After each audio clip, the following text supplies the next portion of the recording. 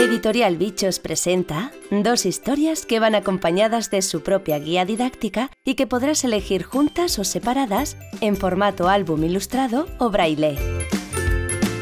Un lobo no tan feroz, escrito por Vanessa Díez e ilustrado por Noelia García, es una historia de un adorable lobo que no podía mostrar sus verdaderos dones y capacidades, sino aquello que creía que los demás esperaban ver ¿Se terminará convirtiendo en un auténtico lobo feroz? El álbum de Marina está escrito e ilustrado por Anabel Ríos. Marina es una niña que disfruta mirar el vaivén de las olas del mar. Ama la música y disfruta del canto de los pájaros. Es una niña con una capacidad sensitiva especial, una niña altamente sensible, que nos ayudará a comprender este rasgo de su personalidad.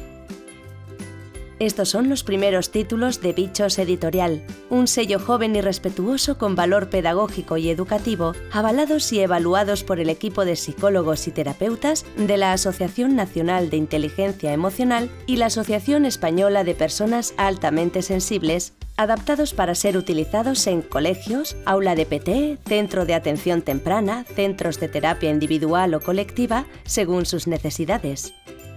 Únete a esta aventura y apóyanos en Berkami.